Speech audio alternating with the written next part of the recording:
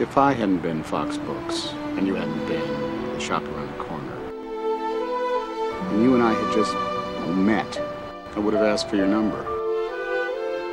And I wouldn't have been able to wait 24 hours before calling you up and saying, oh, how about some coffee or, you know, drinks or dinner or a movie? For as long as we both shall live.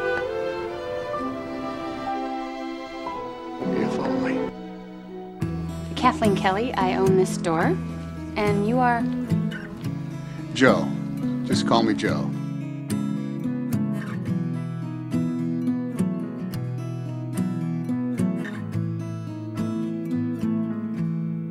Loving can hurt. Loving can hurt sometimes. Meat. But it's the only Last thing night I went to meet you and you weren't I there.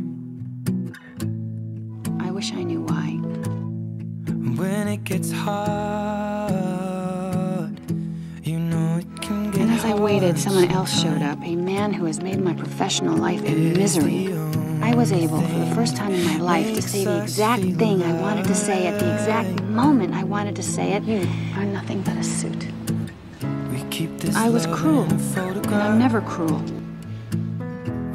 And for even though I can hardly believe what I said mattered to this man, to him I am just a bug to be Hearts crushed. never broken, and time's what if it forever did? frozen still. So Dear friend, You were expecting to see someone you trusted pocket of your rib and met the enemy instead. I'm absolutely sure that whatever you said last night You was provoked, ever be alone. even deserved. Wait for me The fault is mine. I heard you were sick, Loving can heal. and I was worried. I love Daisy. Loving can mend your soul. And it's the only thing that I know. I wanted to be your friend.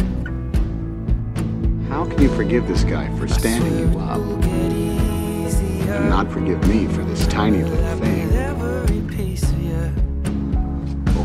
Wish you would. Wait for me to come home. Wait for me to come home. Wait for me to come home. Wait for me to come home. Don't cry, shot girl. that's okay, Don't cry. baby. Only once. I wanted it to be you.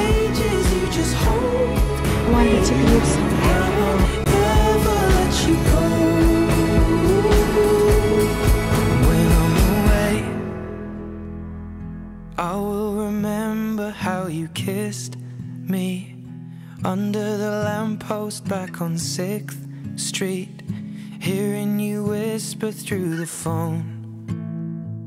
Wait for me to come home.